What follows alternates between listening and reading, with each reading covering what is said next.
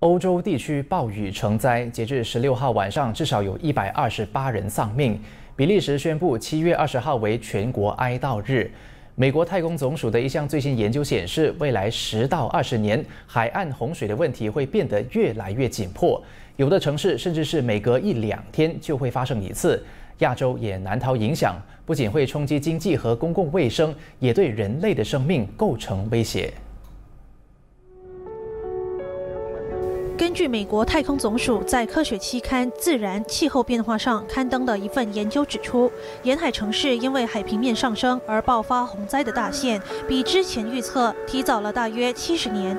而影响这个的变数，除了全球暖化，还有月球轨道平面的周期性摆动。到了二零三零年代中期，月球的引力可能会加速沿海城市发生洪水泛滥。So what we call the nodal cycle associated with um, basically the, the orientation, the relation of the moon relative to Earth. And, and what happens is that there's this very long period signal, roughly 20 years, um, and this uh, effect from the moon causes the tides to vary. So what we found is that this effect lines up with the underlying sea level rise and it will cause flooding specifically in that time period from 2030 to 2040. 在摆动周期内，当月球轨道平面偏离地球赤道平面时，地球上的潮汐相对减弱。相反的，当两个天体相近时，潮汐就会增强。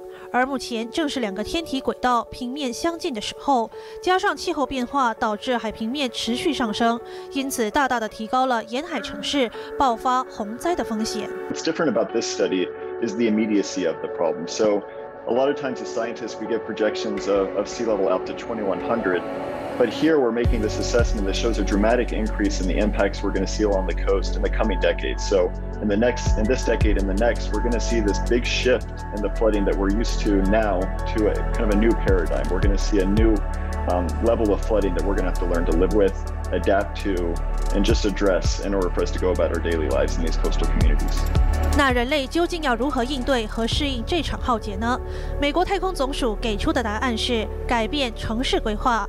研究小组希望能够通过科研和分析，为城市规划师提供更多有用信息，改造出能够抵挡洪水浩劫或减低洪灾损伤的城市。